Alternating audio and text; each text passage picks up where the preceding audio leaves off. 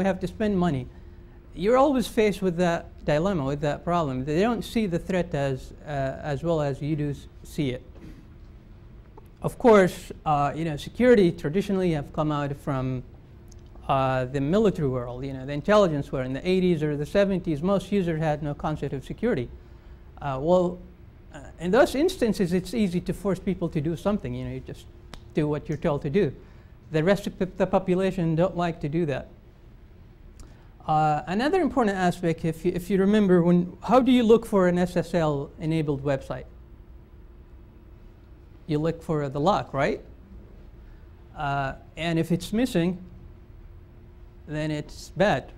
SSL is not there. Uh, one thing that humans do very well is actually detecting positive stimulus, but they're really bad at finding out if something is missing. So if it is there, they'll find it. If it's not there, they won't actually remember to check. So you have to consider that. Of course, goes without saying, they're not interested in finding how things work. All right. So starting with computers, 70s, 80s, uh, initially users had no concept of security, weren't involved, and over time that has gotten more and more. Uh, if you remember using DOS, DOS had no security, right? Uh, there were no file permissions, nothing, uh, nothing really related at all to security. Then you moved on to Windows 95, also no security, no login, not, nothing of that nature. Then things have changed a lot. So now every website has a password. Uh, every mechanism, every application, you have to log into it. Uh, you have to have all the software package that I talked about on your computer just to have basic security. Okay.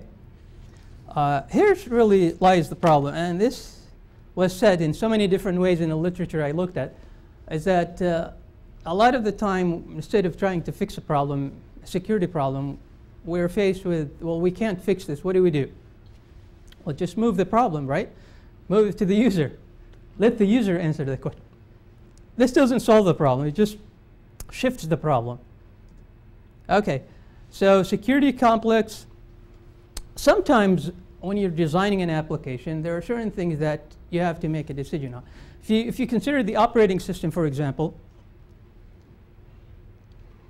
the operating system is always going through a decision tree about what things to allow and what things not to allow. So whatever something, whenever something is happening, the OS will look at the file permissions, the user permissions, uh, policy, and all aspects that are stored and make a decision whether to allow that action to take place or not.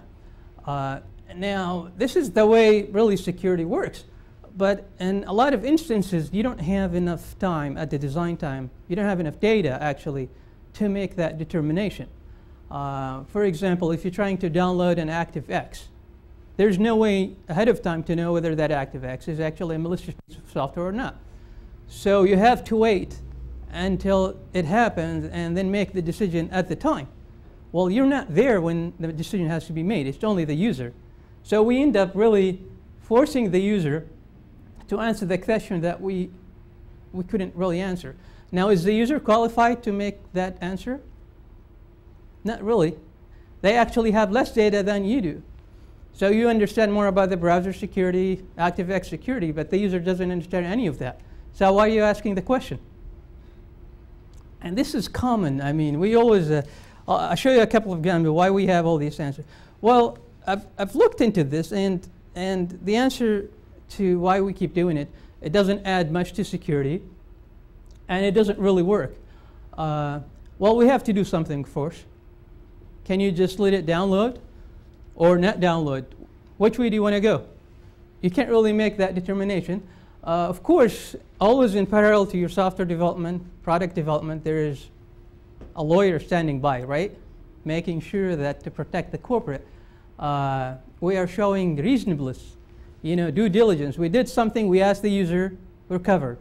Uh, how many of you uh, ever read a, a end user license agreement?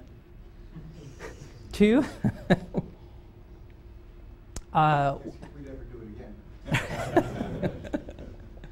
you know, end user license is a completely different presentation, but uh, they have a lot of stuff that uh, you would laugh at. Uh, uh, but they really restrict what the user rights are. That's the bottom of it. And this whole dialog boxes is part of that. We're making progress, of course.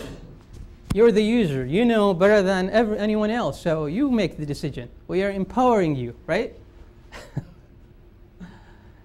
All right. The other, the last thing is that sometimes the end user isn't the only user.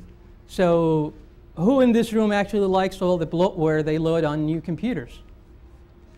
No one does, but they still do it because there's a revenue stream. So there are other users, other vendors that they benefit from. It took years, for example, for IE to add the functionality of stopping pop-ups and pop-unders, right? Uh, they could have done it a long time ago, but it took them a while because they didn't want to upset someone else. All right, here's the uh, common security dialog you're faced with, the user faced with all the time.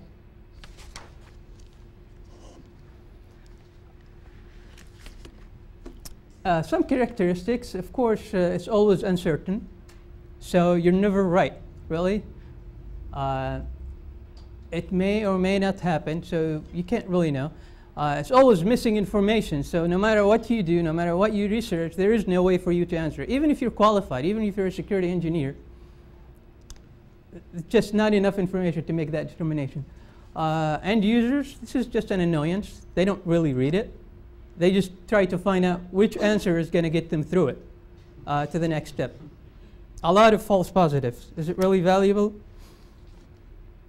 I don't think so very costly because if you consider how many clicks we all have to go through, the population in general, you can imagine how much time we're all wasting on these useless dialog boxes that add nothing, really just reduce security.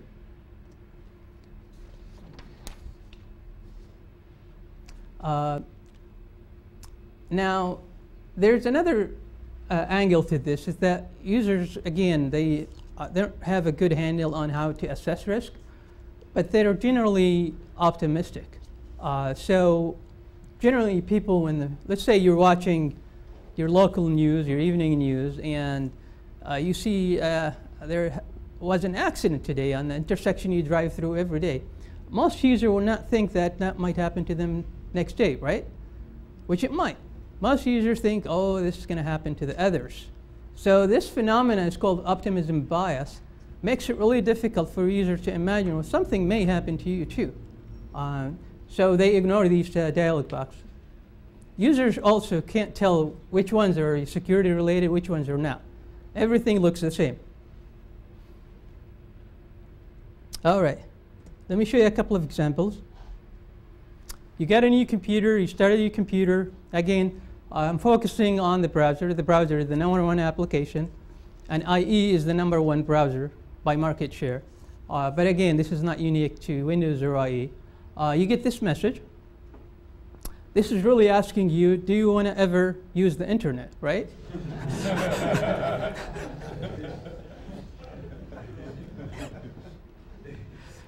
I mean, who would say this, no to this, right? Uh, but if you read it, then you wonder, well, if you send information to the internet, it might be possible for others to see that information. But you wonder, as a user, you may think, well, this is actually exactly what I'm trying to do. I'm trying to send an email, post a comment, uh, you know, post my pictures. Why is this is a problem? They don't really specify uh, who the others are or why you should actually care. All right. Here's uh, the life equivalent.